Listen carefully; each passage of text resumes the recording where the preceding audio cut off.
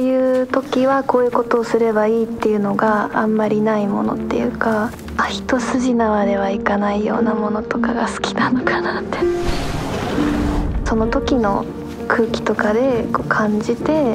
やるってことが多分自分の幸せを感じる瞬間なんですかね。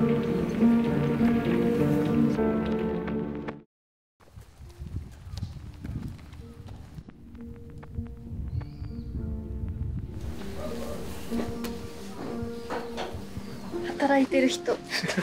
職業体験鼻息がすあったかい。緊張し私が知ってるのが伝わっうん、シンクロしだしシンクロしだゆきちゃん。雪ありがとうよく走ってくれた。ありがとうありがとう。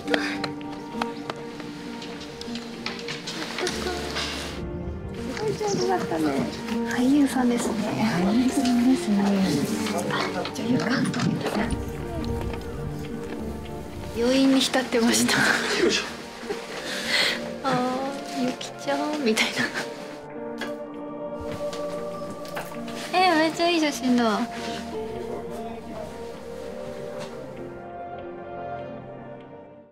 すごい履き心地が良くてストレッチが効いてるのでこういう運動の時とかすごい快適だなって改めて思いましたカジュアルに履くっていう意識ではなくて結構ジーンズを履く時は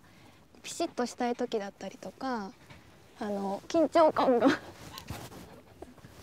ある時とかに 履くことが多いですね。あメラ映ってるから。オファーが来た時はすごく嬉しかったです。あのもともと見ていた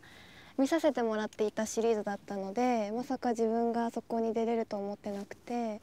しかも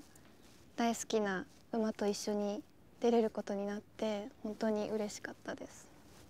あの生きえ？寝てるあ起きた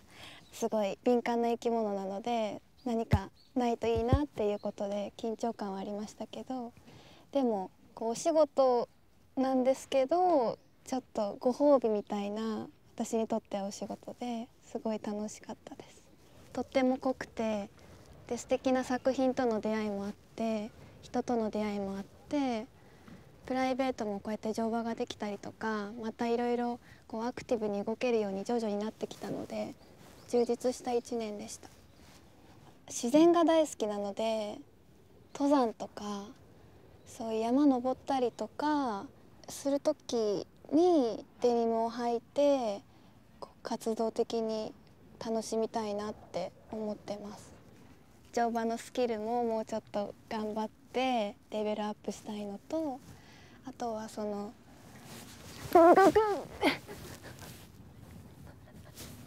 とにかく健康に気をつけてお仕事頑張りたいなって思います。